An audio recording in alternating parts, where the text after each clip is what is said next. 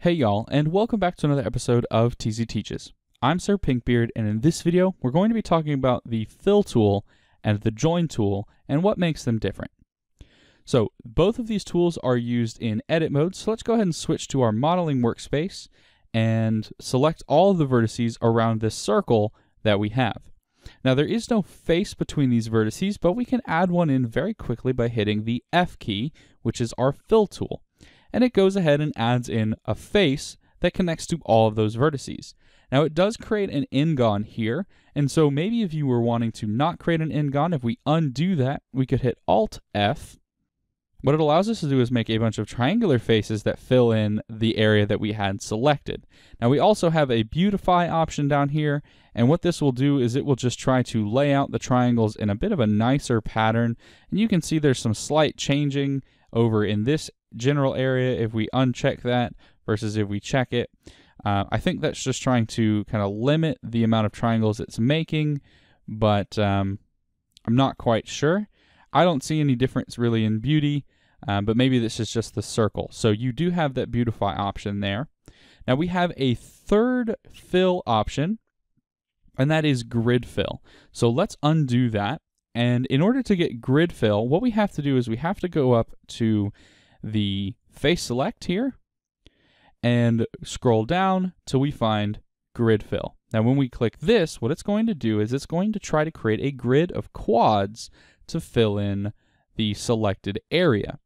And then you have some options so you can increase the span or you can say, hey, I want you to span uh, a little bit less. And so you can see that it's making less of a grid as things go on, a less dense grid the lower we go and it's still trying to keep its quads as best as possible. Uh, and then you can change the offset, which will change the spin of those or of that grid.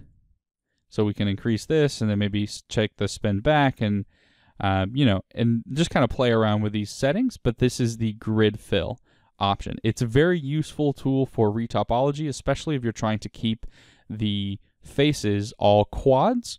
Grid fill is the way to go. All right, so now we have grid fill, and we also have a join tool as well. So to show this off and the difference between fill and join, let's go to the cube. All right, now with the cube object, what we can see is our entire cube is subdivided, and I've simply removed the top vertex up here. So if we switch into face select, you'll see that this face is an n-gon, and it has eight vertices uh, along its face, so three on each side for the corners and then four for the midpoints. So what I can do is let's go ahead and fill in an edge between these two vertices, which it does, and we'll join an edge between these two vertices. Now, what's the difference? So if we select the edge that we have joined together and we move this up along the z-axis, you can see that the faces move with it. However, you can also see that this edge exists here.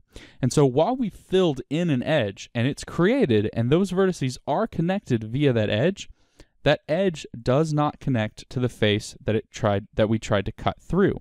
So if you want a face to be cut through and to join up those vertices, don't fill it, simply hit J to join them together and you will create uh, vertices through all the edges that you cut through, as well as be able to manipulate the face from both angles now.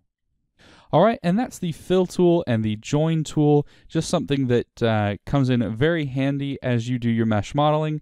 Just remember, filling is great for connecting vertices and edges, but if you need to make two vertices cut through other mesh and be connected, you need to use that join tool.